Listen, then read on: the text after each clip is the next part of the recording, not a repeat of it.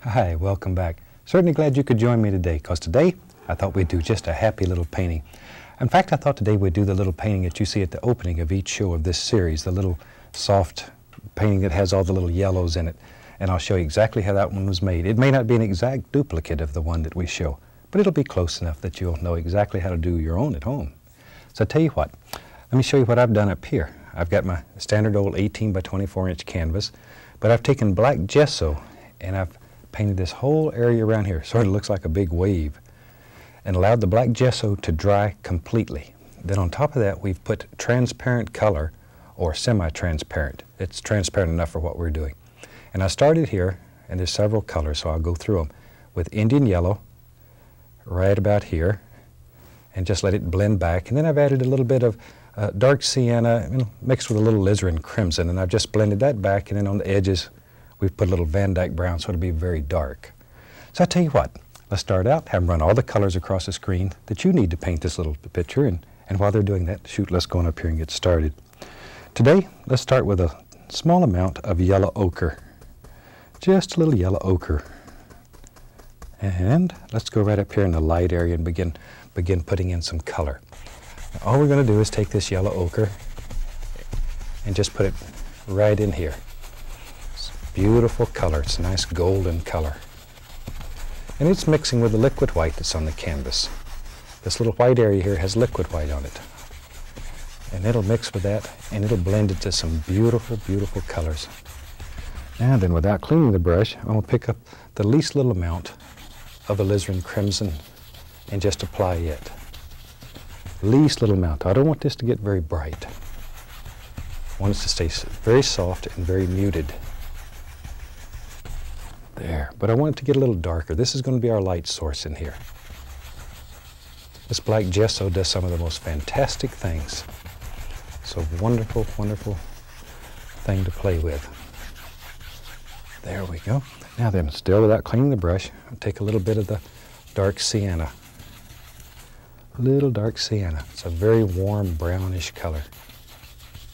And just blend that right in. Like so. Okay. And that gives us our color that we want. Now then, I want to create that very bright effect. So let me take another brush. I have several brushes going so I don't have to spend all my time washing them, even though that is the fun part. We'll go right into titanium white here with the old two inch brush. And I'm loading quite a bit of the color on there. Okay, let's go back up here. Now if our light source is going to be in here, start right up against that dark area and begin blending that outward. That's going to mix with all the colors that you have. It'll create a very light area. Now, it may not look as light now as it will when we're finished because we'll put all kinds of things in there. Now you can do this as many times as you want to achieve a desired lightness.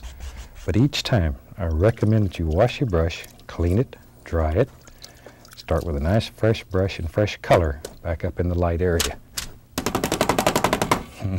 and that is the fun part of this.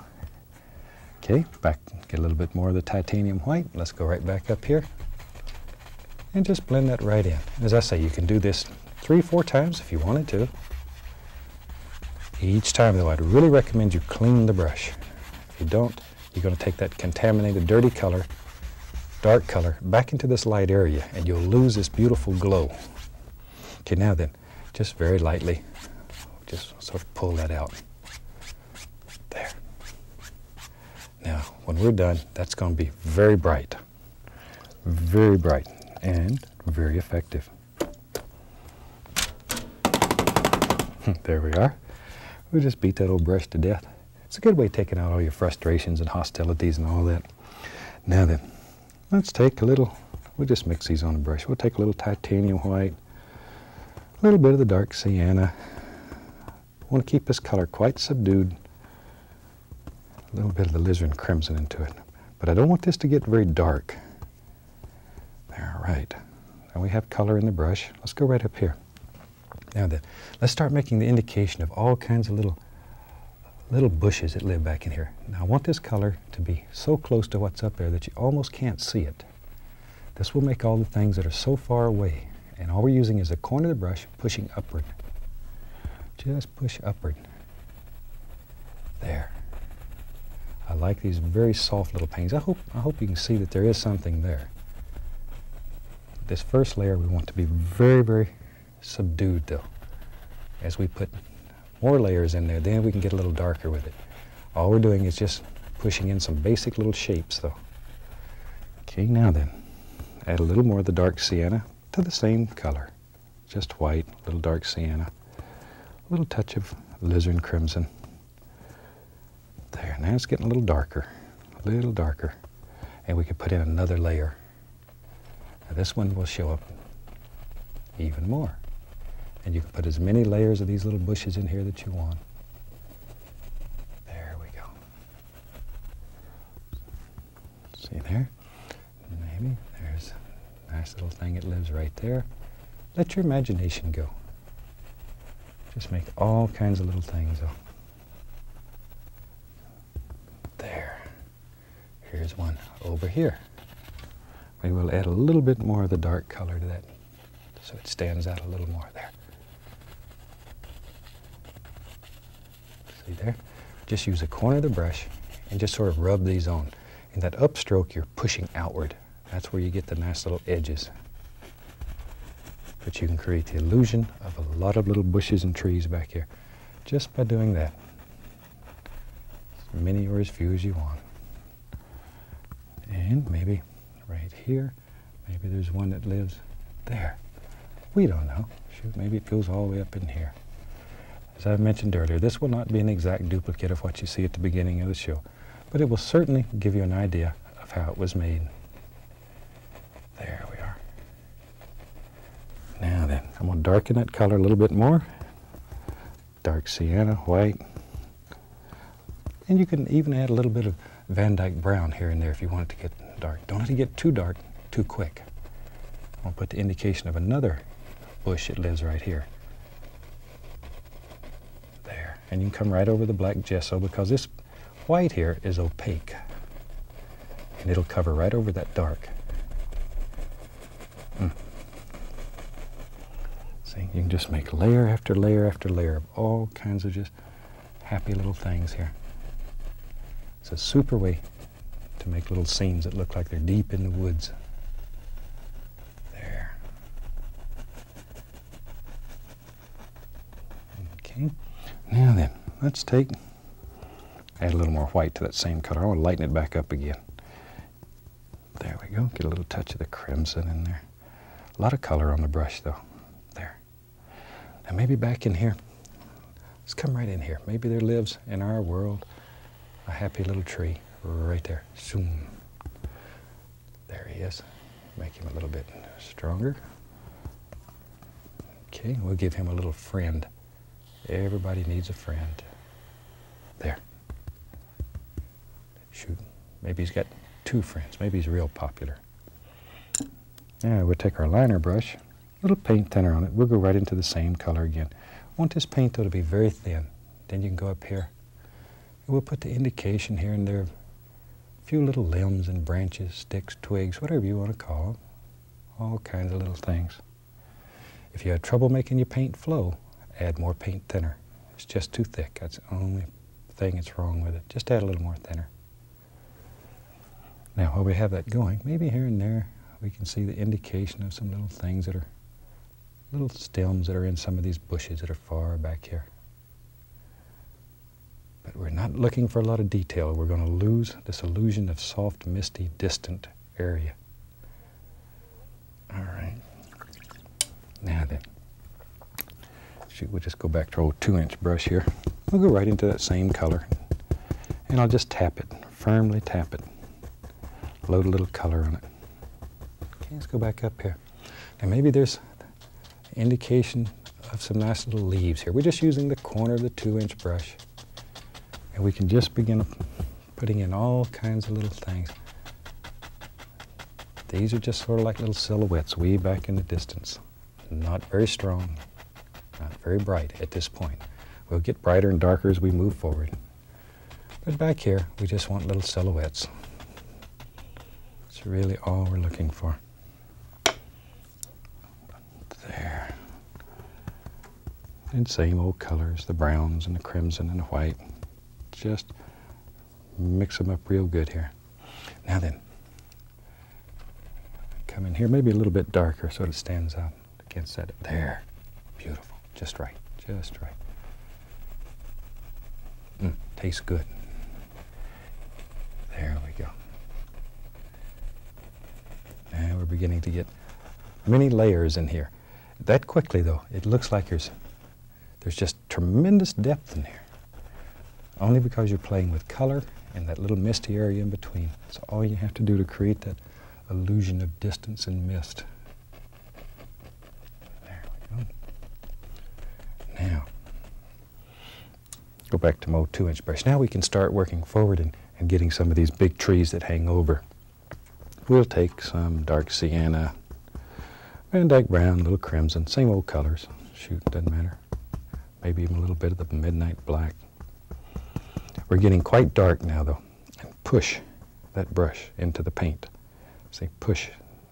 That creates that little ridge right on the end of the bristles. Now then, let's go right up in here and begin thinking about shape and form of your big trees that are hanging over here. There. Look at that. Isn't that fantastic that you can do that with a big old two inch brush? You can. Really can. See? All those things just, they just sort of happen here.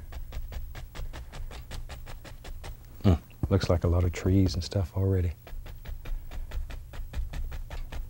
And maybe down in here, there were some bushes and they live right along in here. We'll make a few little individual things wherever you want them. Now because we have this black gesso and all this undercolor, a lot of this is going to happen automatically for you. You don't have to spend a great deal of time working and worrying. Allow it to happen on the canvas. There. Now, use the same old brush. I'm going to go right into a little bit of the cad yellow, the yellow ochre, and load it the same way. Now, I left that dark color on the brush so it will mix with this, and you'll get a much nicer color. All right, let's go back up here. Now we can come back in here and let's highlight some of these. There. Don't want to put too much highlight on here or we'll lose that beautiful darkness. And if you lose the darkness, then this light area back here is not near as effective. And that's what makes this painting sing, is those beautiful dark areas. And then that contrasting light that just, it looks like there's a sunbeam back here just playing. Think about shape and form. Don't just throw these on. Each one's an individual. Each one's your friend. Treat it well. Treat it good. But you can put as many or as few little things as you want here. Now then. This is a very nice painting. And I know we're not interested in that happy buck, but if you're out here selling paintings, this son of a gun will sell. And if you're out demonstrating for people, this is one of those paintings that if people are watching you paint it publicly, or if you're just painting for a group of friends, they'll be so excited by the time you're done. Uh, they'll be looking for their paintbrush. There. Let's take a little bit of the titanium white. Let's have some fun back in the background back here. We have color on the canvas, so when we take white, maybe, maybe we'll have a little bit of water right here. I think there was a little water in that painting. Just grab it and pull down. Now it's going to mix with what's already on the canvas and automatically you'll get beautiful little water effects without doing hardly a thing. Maybe it comes right on back. I think this is the way it, I think it went right on back like that. Wherever you want it to go. Maybe you want yours to come around this way. That's all right. That's all right. Painting, and you hear me say this all the time, painting should make you happy. If it does nothing else, it should make you happy. If it doesn't make you happy, then you're doing the wrong thing. Okay? Now then, after you get that pulled down and blended the way you want it, very lightly, two hairs and some air. Let me get a clean brush. Let's just go across, and this will create that illusion of reflections of water and that shimmer. It's a very nice and easy way to do it. Now then, let's go back to our two-inch brush. And let's begin building all kinds of things. Take a little bright red, a little Indian yellow. Makes a beautiful color. There. Let's go up here. Maybe right in here. We'll put, there's a happy little bush lives there. Now once in a while you can dip your brush into a little bit of the liquid white to make it a little thinner and a little brighter. And it'll make it pop right out of there. Because in my mind, I think there's light zinging right through there. Maybe there's another one that lives right here. Now all you have to do is just sort of pick out where you think there's bushes and big ferns, whatever. I used to spend a lot of time in Oregon, and Oregon has some of the most beautiful ferns and stuff that hang off everything like that. It's unreal. Maybe up in here, there's a big bush, a little bit of highlight up here. I want to keep that pretty dark. Don't want to lose that nice darkness. Now then, let's take a little of the dark sienna and a little bit of the yellow ochre mixed together. Tap a little of that color right into the bristles. Maybe up in here, maybe there's a big tree that lives here and you can make out some of these branches hanging on. Just let them overlap, don't worry about it. Go right over the top of the other one. If you think that's where it should live, just go right over it. And that way it'll look natural. That way it'll look natural. It looks like there's very thick foliage. And I'm still just tapping with the top corner of the brush. That's all there is to it. Now as we work down here, I want to get darker and darker. In fact, let me show you. Let me show you. You could take some of this dark color on the knife and maybe we'll put the indication here that there's a tree trunk here. Since the dark's there, all you got to do is put a little light, like so. It's really all that we need. Now then,